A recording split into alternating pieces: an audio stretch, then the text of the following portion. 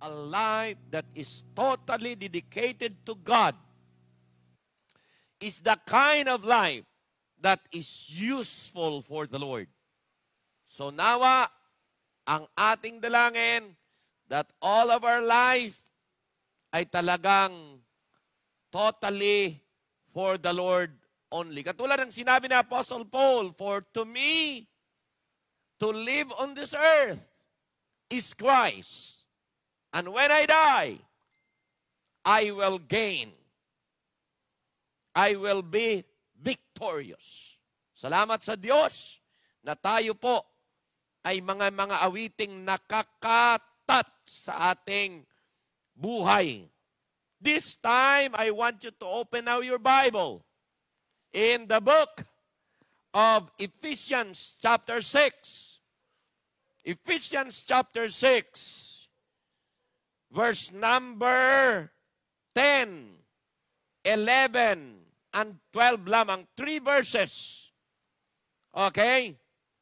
Ang sabi diyan, Ephesians 6, verse number 10, Finally, my brethren, be strong in the Lord and in the power of his might. Put on the whole armor of God that ye may be able to stand against the wiles of the devil.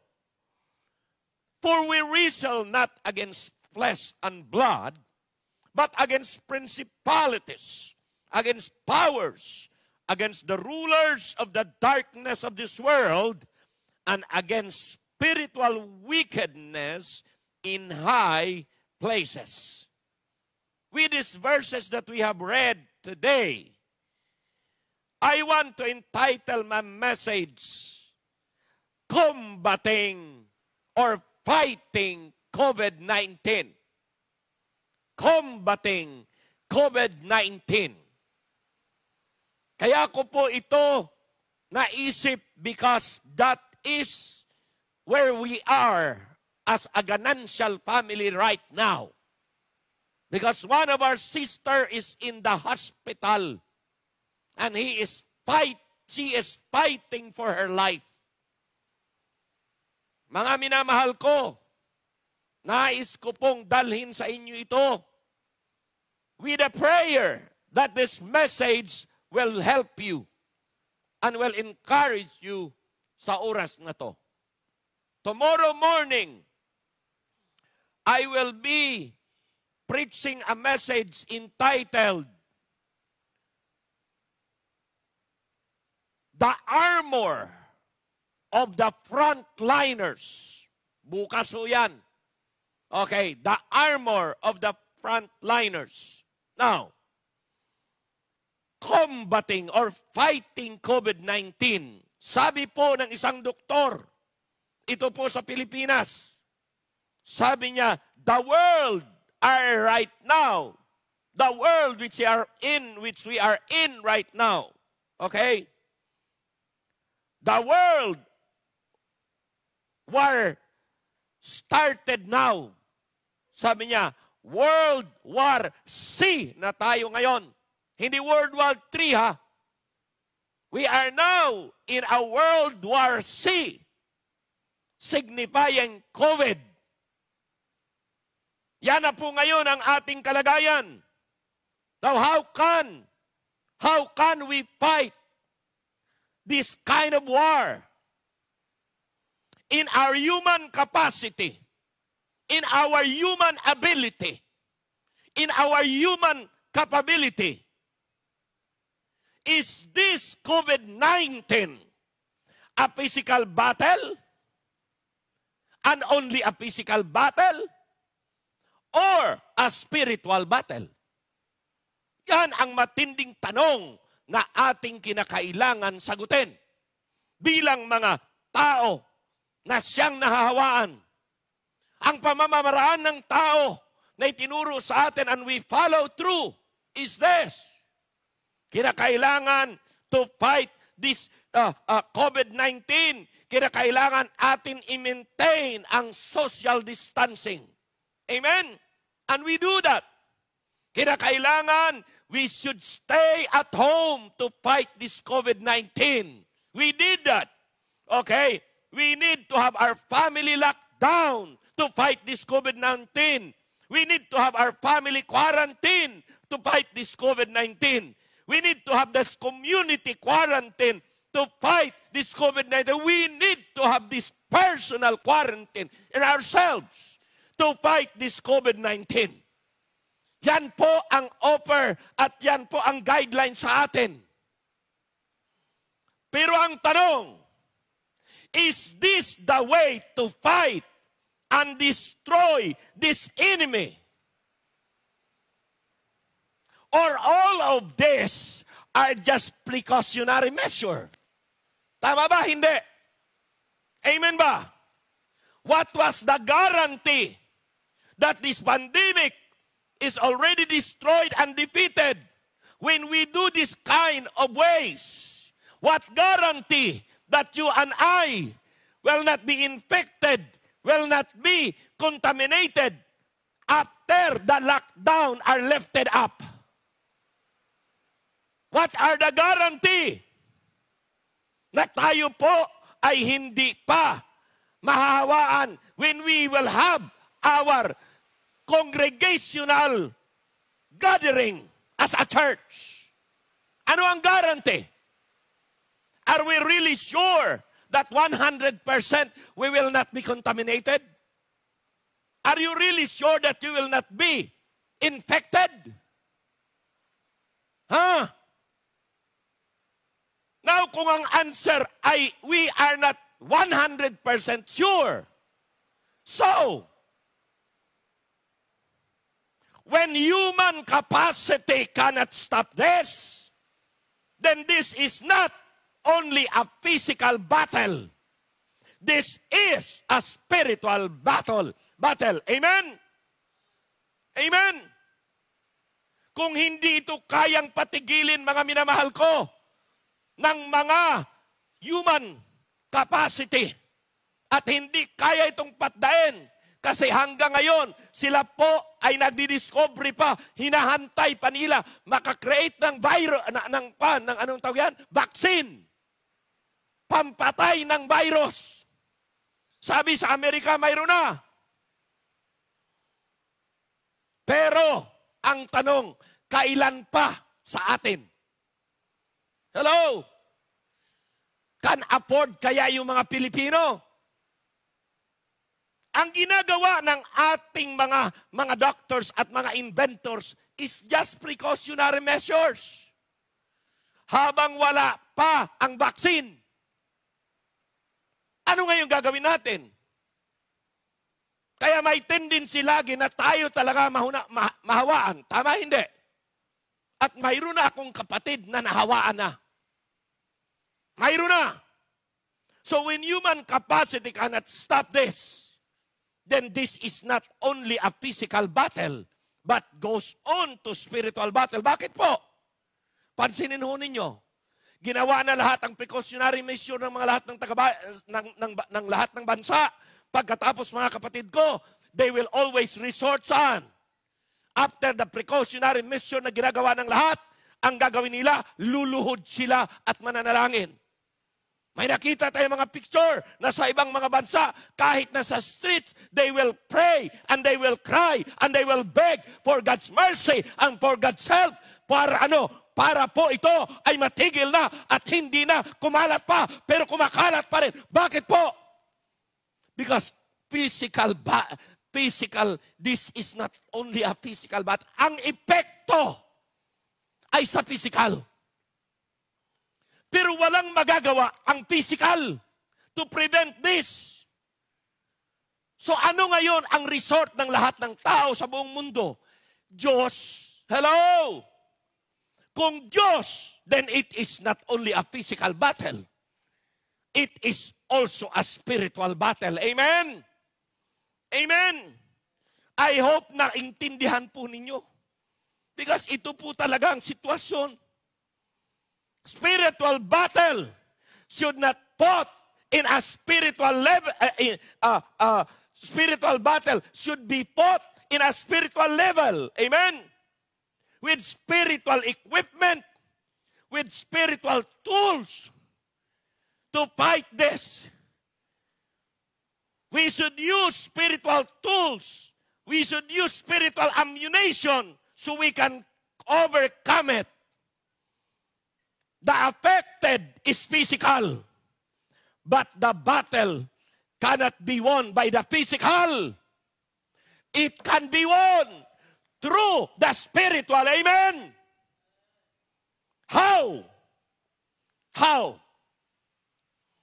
Bukas, sasabihin ko sa inyo, ang mga frontliners, tawag ko niyan tomorrow, ay, ay, ay, ay yung tinatawag na prayer warriors.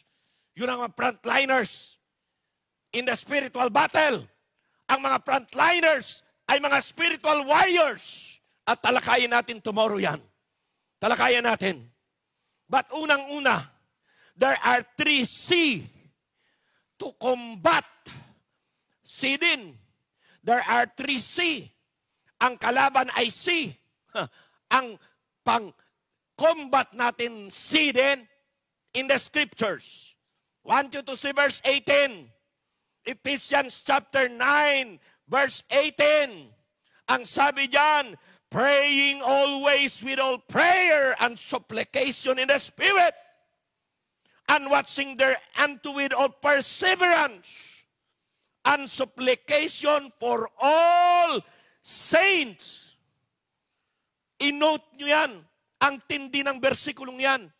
At kung ating i-dissect yan, ating i-absorb yan, sabi niya, praying always, nandyan yung consistency.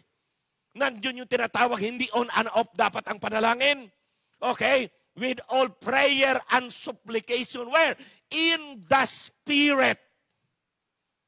We beg for the Holy Spirit to continually move in our in our prayer. We ask God and and and and wrestled with God sa panalangin mga kapatid. Kaya itong panalangin ito, hindi ito katulad ng ordinaryong panalangin lang panalangin in the easy time. This is the prayer that should be expressed. It should be done in time of crisis, in time of pandemic, in time of disaster. At sabi niya, watching there unto with all perseverance. Kinakailangan, hindi ka lang nananalangin with all pouring our hearts to the Lord. But sabi niya, watching thereunto, binabantayan mo, ginagardyahan mo, na ano, ng iyong pagbibitaw ng salita, ng ang iyong pagpananalangin ay talagang taimtim at iyong minanamin, you mean business and you want God to, you want God's hand na sa panalangin mo, makikita mo na siya ay gagalaw gagalaw, kikilos, kikilos, gagamit siya, gamitin niya yung mga doktor, gamitin niya ang medisina, gamitin niya yung instrumento para ang iyong hinihingi na pangyayari at kagalingan sa iyong loved ones ay mangyayari. Yan yung klaseng panalangin na yan. Kaya una na nais kong panlaban natin to fight the spiritual battle, our prayer life, our prayer life, note this, should be developed to become a habit. Kaya ang unang puntos ay ito, our communication to God, ang unang C. Ang unang C is our constant communication with God ng ating mind and spirit. Kahit tayo nagtatrabaho araw-araw at kung ano man ang ating ginagawa, in tune, intact, at you always constantly, you always constantly pray, beg in your mind and in your spirit. Why? Because you put your spirit and heart in the need. Hello? Now, tandaan niyo po ito. Kaya sabi niya, our prayer life should become a habit. It should become a lifestyle. Not just a practice or exercise that is on and off and lack of consistency. That when time of ease and calmness happened, we stop. Hello? We stop. Yan po ang una. Kaya nais kong under that ipakita sa inyo, letter A, our prayer and prayer habit must be intensified with, by this virus, mga kapatid. Na ibang panalangin ko, mga kapatid eh. Nung nasa sitwasyon kami ng ganito, na iba. Lalong tumitindi, lalong sumisidhi na kahit anong ginagawa kong ganyan, ang, ang isip ko at puso ko ay nananalangin. I feel that I am in the presence of my sister laying in bed and I'm on, wala akong magagawa. I could not touch her, but I can touch God and ask God and beg for God. God, touch her. Hello? At yan ho, ang dapat nating maintindihan. Our prayer and our prayer habit must be intensified by this virus. Number two, our prayer life must have the burning desire that level up, that level up that level up, mga kapatid, magli-level up siya. Our prayer life must have the burning desire that level up to ferventness and elevate to go higher beyond our normal prayer. Yan ang pangalawa. Our prayer life must have that burning desire, that level up into ferventness. Into ferventness. Into ferventness. And elevate to go higher beyond normal. Pangalawa yan.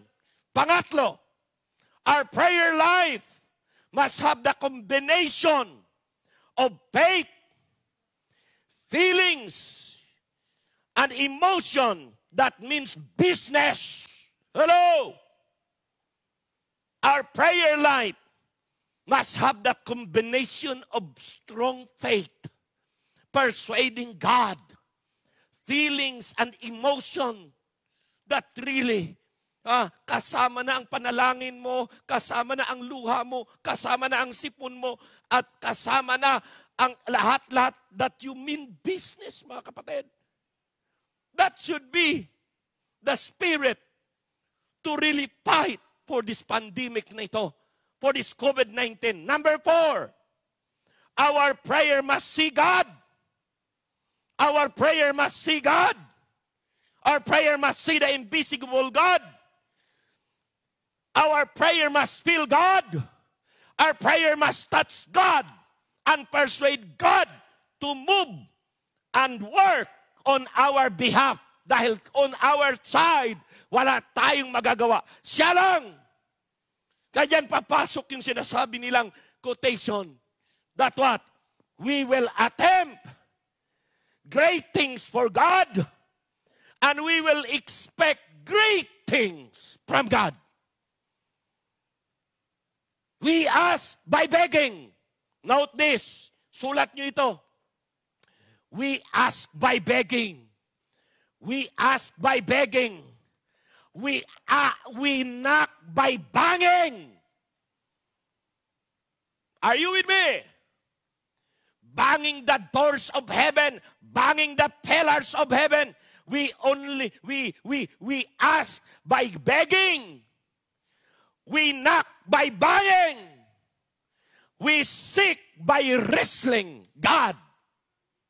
Yun po ang klasing panalangin na ating gagawin. Then, we can experience the miracle and great and mighty things na sinabi ng Diyos sa Jeremiah 33.3, Call unto me, and I will answer thee, and I will show thee great and mighty things that you never see before that you have never experienced before. That is the kind of prayer we want to do in this time of combat, mga kapatid. Hello! Kaya the first letter C is the communication to God. Number two is the communion with God. Is our communion with God. First John chapter 1 verses 3 uh, to 4. Ito ang sabi niya. Verse, uh, First John chapter 1 verse 3 to 4. Ah, anong sabi niya? That which ye have seen and heard, declare we unto you, that ye also may have fellowship with us. And truly, our fellowship is with the Father and with the Son, Jesus Christ. Verse 4, that these things, and these things write we unto you, that what? That your joy may be full. Mga kapatid, ang joy na kumpleto is in the communion with God. Meaning, our fellowship in the presence of God and our presence must be present in the presence of God. Hello! Ulitin ko. Our fellowship is in the presence of God. And our presence must be present in the presence of God. Kaya nais kong sabihin ng mga kapatid ko sa Amerika, kung kayo nanonood ngayon, hindi ko lang alam kung ang kapatid nating si Darren Jonah is, is, is looking sa mensaheng ito. Pero nais kong isigaw sa Panginoon. Kung hindi niya man marinig, marinig ni God. At sabihin ko, at ang Diyos ang magsabi sa kanya, My dear sister Jonah, you are not alone in your hospital room. Why? That is your war room today. And you are you have you, you, you have been in that war room for almost three to four days already. Batatandaan mo, mahal kong kapatid, kasama mo ang ating commander-in-chief na siyang mangunguna sa iyo sa laban mo. I don't care kung that that that, that war that, that are experiencing you are experiencing right now is your war between life and death. Alam ko yan ang sitwasyon mo. Pero nais kong sabihin sa iyo, hindi ka nag-iisa. You have the great physician with you. Because yan ang panalangin namin. And He is the great physician that can heal. The greatest healer of life. You can trust Him. You can call upon Him. You can cleave and cling to Him. Because He overcomes. He overcomes death he overcomes the burying, he overcomes hell. Therefore, you can overcome with him.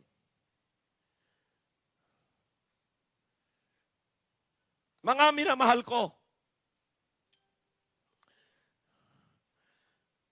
my dear sister na kung dagdagan pa, we may not be in your presence. And no one, no one is with you. But nais kong sabihin ito. Una, hindi lang si Lord Jesus Christ ay nandyan sa'yo by presence. But we are with you. We are with you by the faith, by the Spirit, by heart in this battle. Lahat ng mga mahal mo sa buhay ay nagkakaisa. And we are with you not in the physical, but in the spiritual. We are with you. We beg God always. And we ask God to keep you safe and make you healthy. It may not be immediate, it may not be instant, but God will. We are with you in this battle as your immediate family. Pangalawa, all of our loved ones and friends are with you in this battle by prayer. By prayer. By prayer. Lahat ng loved ones natin, lahat ng mga kaibigan mo, lahat ng mga kaibigan natin, ay kasama mo sa, sa labang ito na kung saan ang aming sandata ay panalangin lamang. Pangatlo, all pastors, brethren in Christ, who knows you and your situation are with you in this battle. Kaya therefore, I declare, you are not alone in this war. We are fighting with you together. At ang pinakahid natin ay walang iba kundi ang ating Panginoon. So therefore, while you are in your bed, have that communion with God. Have that fellowship with God. Have that intimate closeness to God. At sa Kanya ka umiyak. You may not be able to speak, but tears are a language God can understand. And last na nais kong pad-abot po sa atin lahat, The last C, ang unang C is our communication to fight this battle, our prayer life. Pangalawa, our communion, our fellowship with God. The great physician, the Lord Jesus Christ, who is the healer of life. At lahat tayo magkasakasama yan, kaya pinapasalamatan ko ang lahat ng aking mga loved ones. Lahat ng aking mga kaibigang mga pastor, lahat ng mga daughter churches, lahat ng nakakaalam sa sitwasyon ng aking kapatid, pinapasalamatan ko kayo, kasama namin kayo sa labang ito. Last na nais kong sabihin ay ito. The last thing is our comfort. Our comfort comes from God. Our comfort comes from God. Sabi sa John chapter 14, verse number 15, anong sabi niya? If ye love me, keep my commandments. Tuloy tayo hanggang verse 23, verse 16. And I will pray the Father, and He will give you another comforter, that He may abide with you forever. Kaya lagi kong sinasabi ang ating Panginoon nandyan, naintindihan niya ang ating mga damdamin. Naintindihan niya ang ating sitwasyon. Naintindihan niya ang ating puso. Ang sabi sa verse 17, even the Spirit of truth, whom the world cannot receive, because it seeth him not, neither knoweth him, but we know him. Ye know him, for he dwelleth with you and shall be in you. Kaya nandito eh. Kasama natin ang Panginoon. Nandyan sa ating mga puso. Verse number 18, I will not leave you comfortless. I will come to you. 19, yet a little while, and the world seeth me no more, but ye see me, because I live, ye shall live also. Yang verse na yan, pinanghawakan ko. Dahil ang ating Panginoon na buhay maguli, buhay tayo. Buhay ka. Hanggang ngayon. 20, and that day, at that day, ye shall know that I am in my Father, and ye in me, and I in you. Verse, next verse, ano sabi? Ano sabi? Sabi niya, verse 20, He that hath my commandments and keepeth them, he it is that loveth me, and he that loveth me shall, he, uh, shall be loved of my Father, and I will love him and will manifest myself to him. Verse number 22, Judas saith unto him, Not Iscariot, Lord, how is it that thou wilt manifest thyself unto us and not unto the world? Verse 23, Jesus answered and said unto him, If a man love me, he will keep my words, and my Father will love him, and he and we will come unto him and make our abode with him.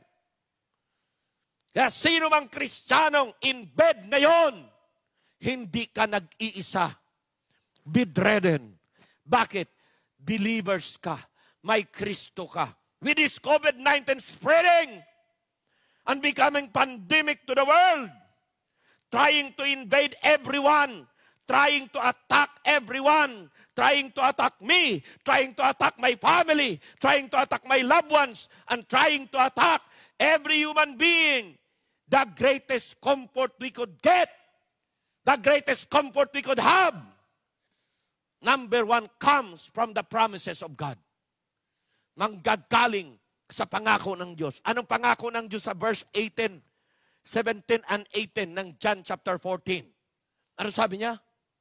17 and 18, even the Spirit of truth, whom the world cannot receive, because it said him not, neither knoweth him, but we know him, for he dwelleth with you and shall be in you. Verse 18, I will not leave you comfortless, I will come unto you. Ang ganda.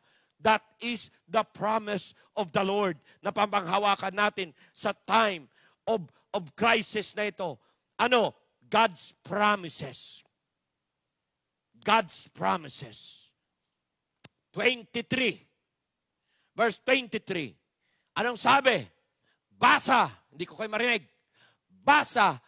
Sabayan niyo ako. Go. Jesus answered and said unto him, If any man love me, he will keep my words, and my Father will love him, and we will come unto him and make abo- our abode with Him. Maliwanag mga kapatid na ang Diyos ay nangako. Nangako siya at nag-assured siya. Amen? Ano pa? 25, 26, 27. Tingnan niyo po ito. These things have I spoken unto you, being yet present with you. 26, but the Comforter, which is the Holy Ghost, whom the Father will send in my name, He will teach you all things and bring all things to your remembrance whatsoever I have said unto you. Peace I live with you. Wow. My peace I give unto you. Not as the world giveth, give I unto you. Kaya sabi niya, let not your heart be troubled, neither let it be afraid. Mga minamahal ko, yan ho ang ibinigay sa atin ng Panginoon. That even in the midst of these troubles, in the midst of this war, the peace of God, the peace of God. Kaya nais kong i-address uli sa aking kapatid, Dahil Jonah, the greatest comfort right now that you can get ay manggagaling lamang sa Panginoon at sa kanyang pangako, sa kanyang mga salita na kung saan alam mo mula ng pagkabata. Marami kang alam sa salita ng Diyos dahil tayo pinalaki ng ating magulang sa kanyang mga salita. Kaya, sabihin ko sa iyo uli, He is with you and will never leave you nor forsake you. Jesus alone is the closest and the nearest to you. In the in presence, ang Panginoon lang. Jesus is the greatest companion there is in your bed. The Lord Jesus alone by His power can touch your body and destroy all these viruses inside of you. I'm praying that you will be out of this infection sa lungs. sooner. Sana today, you will be healed in Jesus' name. Believe in Him, and you will overcome by His healing hand. Kaya mga kapatid, to combat this COVID-19, to fight back in this COVID-19, hindi to kayang dalhin ng pisikal na pamamaraan. Hindi kaya itong i-overcome ng sistema na alam ng mga tao kung anong gagawin dahil yun ay prevention lamang. But nais kong sasabihin sa inyo, our communication to God must be a habit. Ito ang ating gamit. Our communion with God's presence must be sweeter all the time. Our comfort from God must be experienced at hand with peace and joy. Pag yan po ay ating panghawakan, pag yan po ay ating i-practice, pag yan po ay ating i-apply, kahit anong pandemic, kahit anong virus na yan, kaya nating harapin yan dahil mayroon tayong kalasag. Tomorrow, we will take that.